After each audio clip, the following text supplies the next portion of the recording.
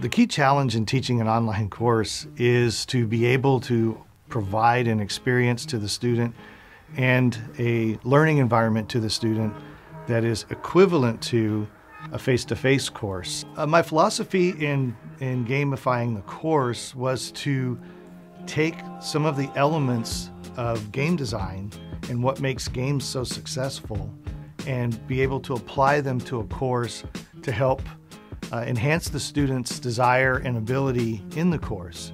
If you look at a traditional educational course, you, you learn some material, you take a test. You learn some material, you take a test. Once you take that test, that chapter is somewhat closed for you and you move on. So even if you only made a 75 on the test, you rarely get the opportunity to go back and better yourself and, and make a 95. One of the key elements of a game is that the player gets to make decisions. If a game is scripted so tightly that the player doesn't get to make decisions on what they do, then it wouldn't be a fun game. Most courses kind of have a linear pathway that students will go through and one of the major components Ken kind of wanted to emphasize from the beginning is that his course was going to be designed around core and upgrade modules. So students would complete um, a core set of modules and then have the freedom to supplement those with different upgrade modules. And so adding, adding these different types of modules, you know, optional, mandatory, business, technology, starts to complicate the content.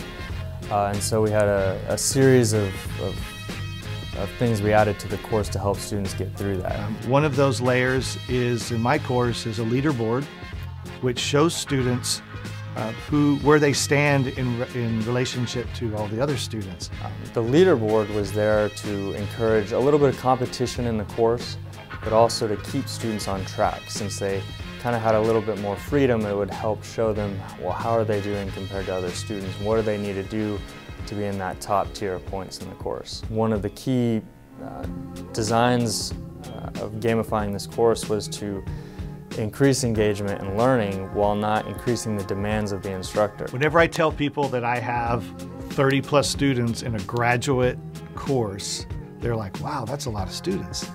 Uh, it tends to be more than what you find as the average uh, class size of a graduate program. From the beginning, Ken uh, really wanted to emphasize that his students would be moving from zero points to a high score.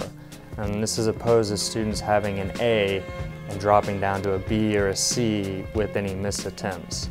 Um, so students can go through the modules, in many cases they have multiple chances to do the assessments. That way, at their own pace, they can build expertise in, in each module as they progress through the entire course. For those that have taken other online courses, all of them state they've never had an online course like this. I saw a significant increase in the number of A's in my course once I started gamifying the course. Uh, in fact, Ken was able to do all this without significant changes to the content or the amount of time he spent in the course.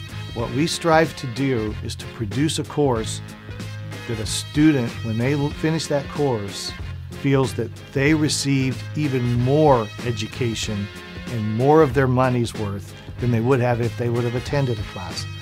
That's a very different goal than just saying we want to make it equivalent.